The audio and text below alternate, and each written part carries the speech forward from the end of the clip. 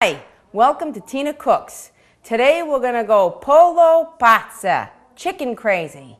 We're gonna have a roasted chicken and a rotisserie chicken. Let's get started.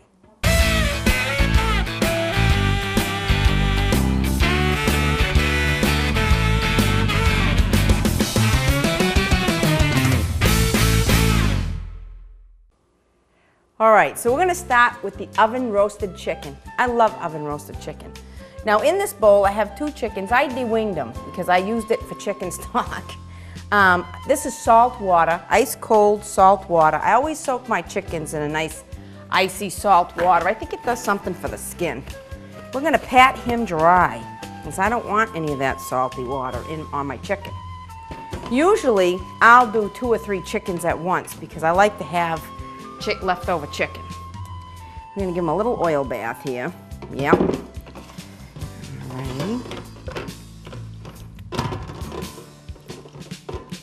Now some people they lift up the breast skin and they, they stuff herbs and spices and all kinds of stuff under the skin and that's great. I don't like the extra calories or the butter and that all that other stuff. So I just keep my chicken nice and plain and simple. Now on the roasted chicken, I'm going to use just regular parsley, salt, pepper, and granulated garlic. Now I do put a lot of seasoning on my chicken. And the reason why I do that is because it's going to add to the flavor of the gravy. Because when this is about half an hour or so before it's, before it's done, I'm going to throw some nice water in here right over the bird kind of baste it a little bit so that the juices go through into the pan drippings because I, I like to have gravies with my food. Okay. My parsley, this is just going to be a parsley one, okay? There's a lot of seasoning, but you need it. And we're going to pop him in the oven. Okay. Now this oven is about 350 degrees, okay? Now I will roast that chicken for about two, two and a half hours because I like my chicken cooked. Okay, so now the next chicken we're gonna do, I'm gonna put it in a rotisserie. You can use any rotisserie you like. Take him out of the water. There we go. And we're gonna pat him off too. And I'm gonna do pretty much the same thing with this chicken, only I'm gonna roast him with thyme. Okay? That's a spice. you can use rosemary's also, a nice fresh rosemary. Stick it right inside the cavity of the chicken if you're roasting it in the oven. You could do it with in the in the rotisserie too. But I sprinkle it right on top because you can use it in the um, gravy. Okay. Now this is a little bit different because I'm going to sprinkle them all over the place because he's going to be turning around in the rotisserie. So we want to make sure he's covered, okay? Well, we'll do this with the, well, the pepper's going to be a little trickier, but we'll get it. Oh my goodness, I got a mess going here. I don't know, sometimes. There we go. See, with a little bit of ingenuity, you can figure it out. Okay. Of course, I'm gonna have to wash this jar off after it's chicken to death. Talk about salmonella. okay, now this is the time. You can use fresh, you can use dry. I'm the type of person I use what's in the house. Don't be afraid to season it because as this rotisseries, the, the grease, the fat comes out of the chicken and it just puts everything in the bottom of the pan. Okay, we're gonna take our top off. And I'm gonna spare them this way, I think. Let me see, how am I gonna do this? Oh, you know what? I probably might have to tie his legs up. Um, let's take a few seconds for me to find some twine. I'll be right back. Alrighty, I found some twine. So we're gonna have to tie these little legs up because they, they hit the rotisserie burners and um, they smell terrible, like the chicken's burning. It's not good. Okay, so we're gonna come around here like this and we're gonna tie these little legs up. Okay, now we tied up his little legs. We don't want him um, hitting the burner. It'll cause grease. We're gonna set him right on here like this. Here we go. Let them sit there for a minute. I'm gonna put the cover on. And then we're gonna shimmy them toward the middle. Bring them over to the rotisserie. I am gonna set the rotisserie on two and a half hours because I like my chicken cooked. Okay? And there we go. We'll see you in two and a half hours. While our chickens are roasting, I'm going to cut to a potato and artichoke side dish I had done earlier. You're going to love it. It goes great with the chicken. Now I'm going to show you a wonderful side dish, artichokes and potatoes. I got ice cold water here. We're going to squeeze some lemon in there. It'll help the artichokes from discoloring. Now, a lot of people throw the stumps away. I do not. I usually have a piece of newspaper handy because these artichokes, they are dirty. They have thistles inside and you got to get the choke out. So I'm to take a few minutes and concentrate on cleaning these because if they're cleaned properly, you can eat the whole thing. You don't have that. Sometimes you go into a restaurant and they got this big, huge thing, you got to clean off all the leaves. I don't want to be bothered with that. I just want to eat them.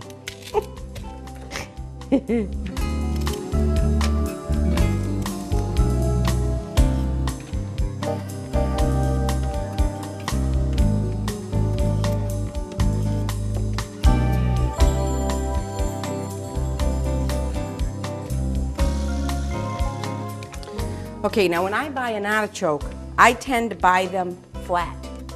These are a little bit off season, so they're a little bit pointy and a little, we're gonna lose quite a bit of this artichoke. But in, the, in season, they're very, very tight and they're flat. I don't buy the real pointy ones. My Nana always told me that they were tough. They weren't as good as the, the flatted ones. I don't know how you pick your artichoke, but that's how I pick mine. Now I'm just gonna pull back these leaves until, because the bottom of these are okay. If it snaps off, you can eat it.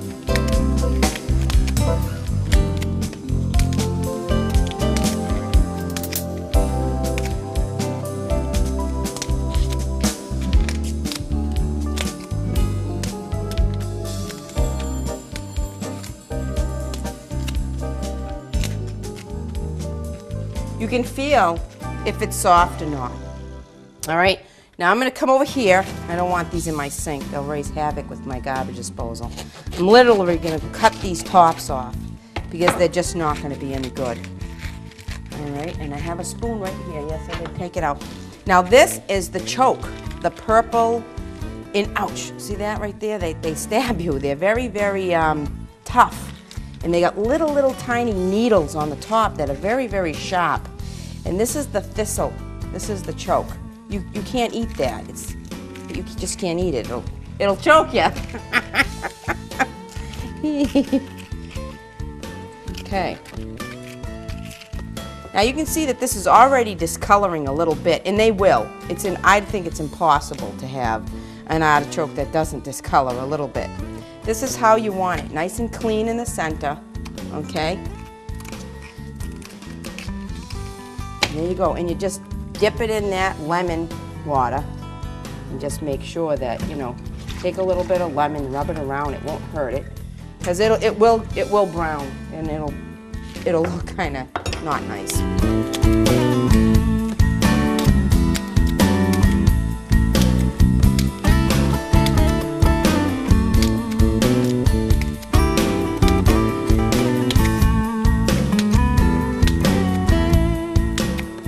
They also have points in here, so be careful when you're cleaning them, because those points, they will stick in your fingers and they, sometimes they take a while to work their way out.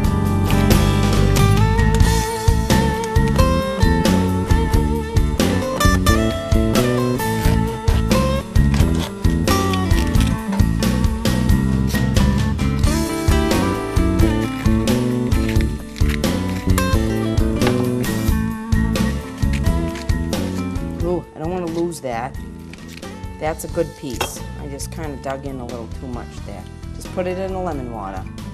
Because what I'm going to do is I'm not going to stuff these. I'm going to cut them up and I'm going to put them in with the potatoes. almost, it's gonna be a delicious side dish. Serve them with salad or roast pork or, or turkey or beef. They're a great side dish. Okay.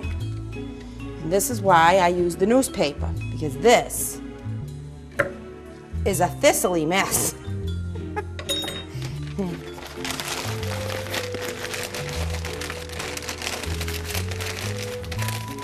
nice and neat, no mess. Okay, I'm gonna take a two minute break and we'll be right back.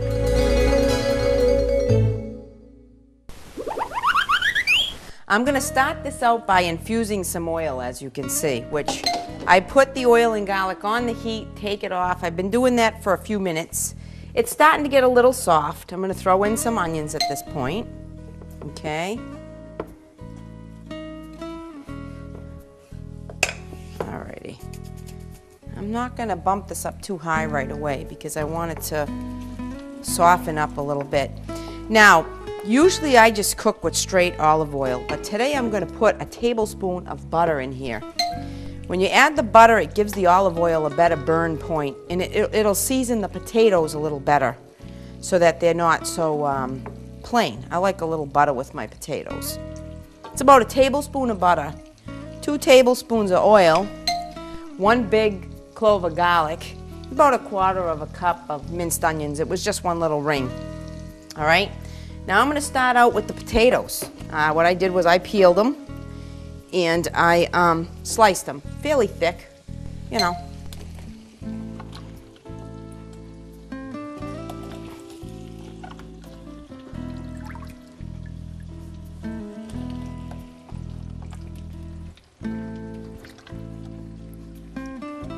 I just put them in water so that they don't brown, salt water, so that they don't get all brown, rusty looking. All right, now we're going to season this with some salt. And we're going to use some parsley. And we're going to use some, this is a mix. It's a red, it's a, it's a peppercorn medley. It's red, green, black, and some granulated garlic. Okay. Now you can smell the butter in there, the buttery flavor and stuff like that. It's, it's going to be great. We're going to just toss this a little bit, incorporate the uh, spices. Oh yeah. Now, at this point, I'm going to take the artichokes and I'm going to slice them like so. Okay, and I'm going to toss them in there. Okay, they, they do get a little bit brown, but that's okay. This is the heart of the artichoke. Right in here, this is the heart. That's usually what most people clean them down to. I like the leaves, so to speak, too. They, they're very good. Okay. A lot of times I use the potatoes and the artichokes like this in what I call a frittata. It's um, you add eggs to it. Oh, it's delicious. You make like a giant omelet and you, you make sandwiches. Oh, my nonna, uh, my nonna was the queen of frittata. Okay. And now I'm gonna get my spoon and I'm gonna mix this through because now these just have to cook. You're gonna keep them covered. The potatoes will brown better covered in a nice low simmer. These will cook really, really nice. Okay, we're going to cover this up. Now I think these are going to take about 20 minutes. So what I'm going to do is I'm going to come back from time to time, toss them around, and when we're done, I'll tell you how long they took. We'll be back. Okay, this chicken is rotisserieing nicely. It's got about a half an hour though still to go. But we are going to add the water to our other chicken because we want to have some gravy. Okay? As you can see, this one's not as nice and golden brown, but it'll get there. You rinse off them. Remember I said we got all that spices on there. That's about all I'm going to add for water. That'll be plenty of gravy. Now we're going to let this simmer in the bottom there and it'll make a nice, nice dark juice that we can thicken and make gravy with. And we'll be back in about a half an hour. Okay, while we're waiting for our chicken, not only am I renovating my kitchen, I'm experimenting with making my own tiles. This is a ceramic mold of four 4 by 4 inch tiles. Now this you got to be a little bit of a Hercules to do, but it's fun, so watch out, Kyle, because if it snaps, you're a goner. Pull this tight, right on there. This is so much fun. It's like playing mud pies. Oh man, this elastic's twisted. Wait, give me a minute. Just because I'm on TV now, I'm going to make mistakes. I'm, I'm an amateur at this. This is new experimental type stuff. Okay. Then we got to put a top one on. Same thing. Watch out, Kyle. Imagine if this band... I have flung a few bands. Oh, thank God I was in the room alone. So we shake. This is called slip. I buy it in the gallons. Okay, now, this is what we do. Now, I don't think I have enough slip to pour all four, so I'm going to pour three. I think I have enough for that because I've already poured quite a few. Here we go. Now, the funny thing about these tiles, maybe I'll only try to pour two, is they're to sink in and settle, and you got to make sure they stay full to the top, otherwise they're hollow and they don't, they crack. You can't have a tile that's to crack because then you can't, you can't cement it in.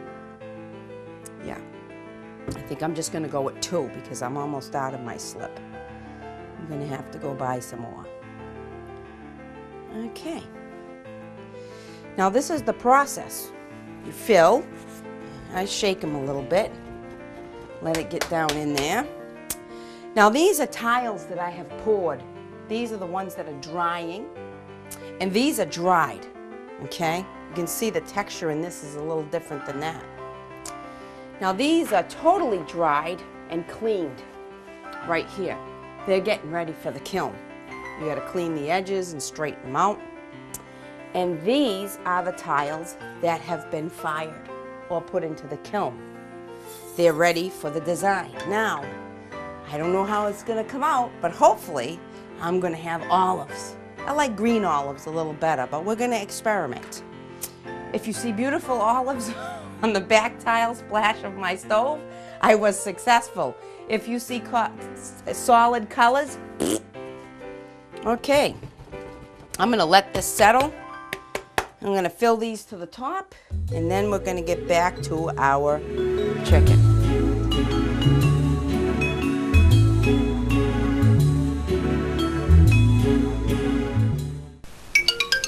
Okay, it's been about 30, 35 minutes. And the way you check this is you take your a little pointy knife or a fork. You'll see the artichokes are nice and tender. The potatoes are all nice and golden brown. Um, there's quite a few potatoes in here, so every single potato didn't get golden brown. A lot of times if you want everything to be nice and crispy, you can put it in the oven, but I'm a, I'm a stovetop cooker when it comes to this. Okay, we're just to slide these right into this plate here, like so. Now these are wonderful with a roast chicken. Like I said, there's a lot of things you can put these potatoes with. This is a wonderful, wonderful side dish. One of my favorite things is a frittata, but that's another show. Artichokes and potatoes. We're going to take our chickens out and you'll see how the roasted chicken looks and how the rotisserie chicken looks. First, we're going to grab the rotisserie chicken. I have my, my gloves on so I don't burn myself. Okay. We're going to put them in there. Oh yeah, see how nice and crispy it is? This is a cooked chicken. Love it like that. I'm gonna take the gloves off. And now you need the pot holders on. Okay. So now you take the pot, the chicken out of the oven, which is great. Okay, and see our juice is going to be good for a gravy. We've already done gravy before, so we're not going to do gravy again. I am going to rinse this off a little bit just to get some of the spices off. Okay. Now this chicken has been off and it's been resting, but this chicken has not. So I am going to let this chicken rest but I'll show you the rotisserie chicken. And there we go.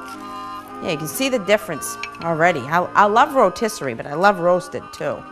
I'm gonna chop off his little leg here and cut it through that twine. We don't want to eat the twine. That's not going to be good.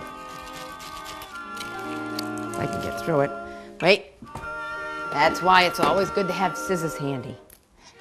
There we go. We've got him. Okay, see how it falls right off the bone? That's how you want it. That's how I like it. Nice and cooked. And your, your breast meat's going to be nice and tender. Okay. There we go. Oh, is that going to be good? All right. I'm going to finish carving and then we'll go to the table. We'll be right back. Okay, it's Sunday night. I've roasted one chicken. I rotisseried another chicken. And this is who I feed. Thank you for watching Tina Cooks. Have a good night.